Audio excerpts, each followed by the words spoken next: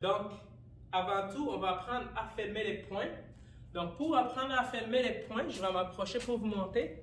C'est que l'important, c'est serrer ses doigts le plus possible, coller sur les, sur les doigts le plus possible, les coller ensemble le plus possible.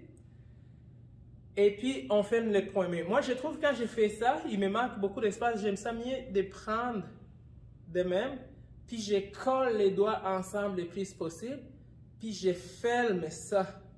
Donc, les pouces, on ne veut pas que les pouces soient en avant ou intérieur, parce que ça peut faire mal au pouce, ou ici encore, tu vois, ça peut faire mal au pouce, vous avez attendu craquer. Euh, on veut que les pouces ici, ils soient à haut de ces deux doigts ici l'index et le majeur. Et puis quand on le met là, on scelle fort. Il vient serrer fort. C'est comme une, c'est comme une. Il vient serrer fort sur ces doigts-là. Et puis ces trois droits et la dernière, on scelle fort. Donc ça fait 1, 2, 3, 4 qui fait une chaîne très scellée fort. Donc, ça protège lui au milieu, il devient fort aussi. Mais on concentre au début sur ces trois. Et ces trois droits, 1, 2, 3. On les serre plus fort et on s'aligne avec euh, les poignets. Donc, il ne faut pas qu'ils soient à haut les poignets à cause de l'impact, ça peut faire mal. Comme ça, ça peut faire mal. Comme ça, ça peut faire mal. On veut qu'ils soient alignés avec les poignets comme ça, aligné avec les poignets.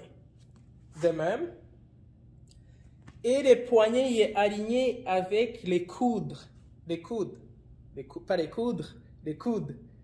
Aligné avec les coudes. Ici. Tout aligné.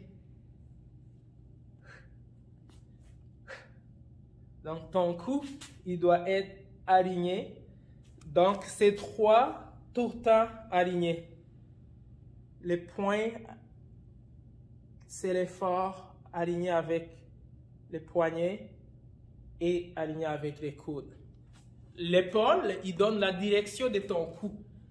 Donc l'épaule, il va tourner dans la direction, tu vas lancer les coups et tu vas aligner les points, les trois piliers ici, les, les trois piliers, alignés avec les poignets et les coudes. L'épaule pointe là tu lances ton cou. Donc, ton cou, la force vient de partout dans tout ton corps. Il se stocke dans les hanches. Donc, les hanches tournent l'autre bord.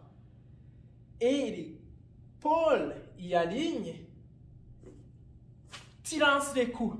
Donc, la force vient de tout ton corps, surtout des, des planchers. Tu l'amènes dans les bassins.